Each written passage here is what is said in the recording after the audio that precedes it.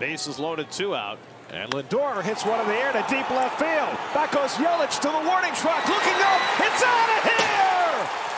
Francisco Lindor with a grand slam to put the Mets in front. Oh, wow! Lindor, first pitch, clears him. 7 to 4 New York.